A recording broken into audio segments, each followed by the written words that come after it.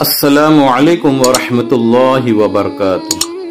الصلاة والسلام علیک یا رسول اللہ وعلى آلک واصحابک یا حبیب اللہ صلی اللہ تعالی علیہ وسلم۔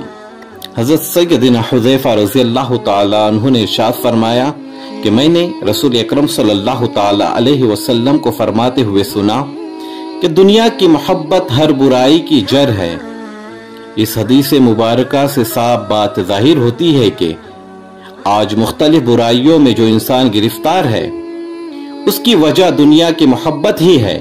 پہلے دنیا کی محبت دل میں گھر کرتی ہے، پھر دوسری محبت خود بخود اس کی وجہ سے دل میں پیدا ہو جاتی ہے۔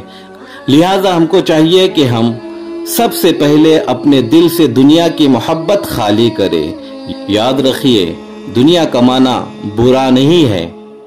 بلکہ اللہ تبارک و تعالیٰ کی یاد سے غافل ہو کر دنیا کی محبت دل میں بٹھانا برا ہے۔ لہذا دل میں اللہ اور اس کے رسول صلی اللہ تعالی علیہ وسلم کی محبت کو جگا دے اور دنیا کو ضرورت کے تحت حاصل کرے تاکہ ہر برائی سے اپنے آپ کو بچا سکے۔ اللہ تبارک و تعالی ہمارے دلوں سے دنیا کی برائی نکال دے اور اللہ اور اللہ کے رسول صلی اللہ تعالی علیہ وسلم کی عقیدت، محبت پیدا کرے۔ اللہ تبارک و تعالی ہمیں نیک عمل کرنے کی نیک توفیق عطا فرمائے۔